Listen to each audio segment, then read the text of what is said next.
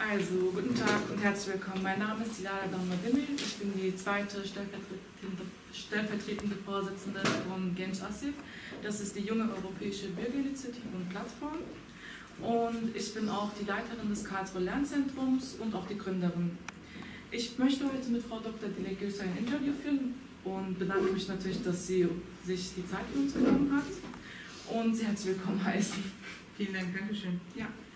Also meine erste Frage wäre, Frau Dr. Gülsoy, was Ihre Motivation war, um Herzchirurgin zu werden, was Sie dazu bewogen hat. Also die Motivation kommt natürlich vom kleinen Kind auf. Ne? Natürlich will man als Gastarbeiterkind etwas Besseres werden als die Eltern. Das wurde einem auch so eingetrichtert, ja. euch sicherlich auch. Und ähm, ich wollte schon immer Ärztin werden und das habe ich auch verwirklicht in der Form, dass ich dann halt auch während meiner Schulzeit immer die Fächer ausgewählt habe, die für mich für das Medizinstudium ein bisschen nützlich sein könnten. Ähm, und dann habe ich dann nach dem Medizinertest, meine Noten waren jetzt nicht so die besten, und der Medizinertest galt auch mit 50 Prozent dazu, habe ich überdurchschnittlich abgeschnitten und relativ schnell und zügig einen Platz an der Heinrich-Heine-Universität in Düsseldorf bekommen.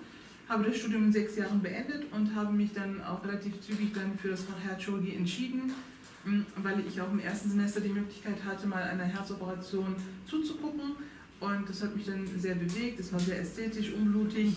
Und so habe ich mich dann entschieden und wie das der Zufall manchmal auch will, ähm, kam dann auch eine Kommilitonin, äh, die mir eine Doktorarbeit in der Herzchirurgie angeboten hat. Und so hat das Ganze seinen Lauf genommen.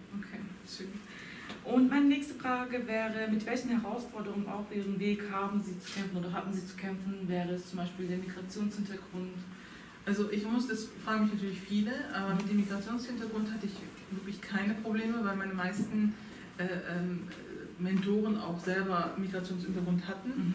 Türken, Griechen, Japaner. Ja, und deshalb war das in der Chirurgie jetzt kein Problem. Auch sonst in meinem Schulleben war es auch kein Thema, weil wir sicherlich auch von der Familie so ähm, getriggert wurden, dass gesagt wurde, okay, du bist jetzt hier, du musst dich jetzt integrieren. Ähm, Türkisch können wir gerne zu Hause sprechen, aber außerhalb musst du dich hier anpassen und so haben wir das auch getan. Meine Erzieher waren ähm, Deutsche, ähm, die Familie Bisping, ähm, ein altes Ehepaar natürlich, äh, aber das aus der Kriegszeit noch stammt und mir das auch noch vermittelt hatte. Das Ganze hat mir natürlich auch sehr gut geholfen, aber äh, die Schwierigkeiten kommen dann halt, nachdem du die Assistenzzeit vorüber hast, dann erst, wenn du, weil du eine Frau bist eher. Das spüre ich jetzt in den letzten Jahren ähm, massivst, weil ich natürlich sehr selbstbewusst bin in dem, was ich tue.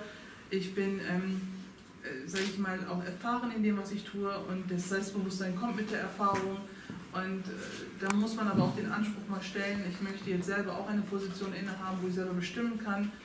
Also mit dem Frau-Dasein kommen die Probleme. Ja, das glaube ich, wir selbst haben das auch zu spüren. Und was könnten Sie unseren Jugendlichen und motivierten Anwärterinnen mitgeben auf dem Weg zur Bildung, den angehenden Akademikern? Könnten Sie denen irgendwas vorschlagen oder dass sie sich verbessern könnten in irgendeiner Hinsicht? Also erstmal muss man die, äh, hier hat man die Möglichkeit, einem die Möglichkeit erstmal geboten, dass man diesen akademischen Weg gehen kann. Und die sollte man auch nutzen. Und ähm, da sehe ich halt die Problematik, dass viele halt eher in eine andere Richtung umschwappen, dann doch lieber heiraten wollen, Kinder kriegen wollen, auch eine schöne Sache, äh, kann man auch und auch dieses Land bietet die Möglichkeiten auch als ähm, Eheleute und als Mutter oder Vater auch ein Studium zu beginnen und dann auch zu beenden. Und die sollte man unbedingt nutzen. Jeder sollte ein Ziel vor Augen haben und äh, diese dann auch ähm, versuchen zu erreichen. Manchmal führen die Wege nach links und rechts, manchmal kommen Steine, ja.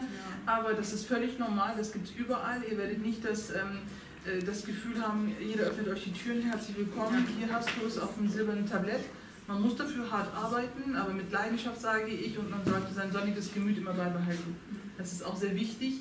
Ähm, Konkurrenzkampf wird auch sein, ohne Frage, aber ihr müsst nicht unbedingt die Ellbogen da ausfahren. Mhm. Macht einfach euer Ding konzentriert euch auf euer Ding und es wird schon kommen. Und lernen, lernen, lernen. Natürlich, ohne Lernen geht es nicht. Wie gesagt, äh, man muss schon was dafür tun. Auch ich habe was, was dafür getan. Ähm, aber man sollte, es gibt Verzweiflungsmomente, die werdet ihr auch durchleben, ja. aber auch das wird vorübergehen am nächsten Morgen schon. Ja, hoffentlich.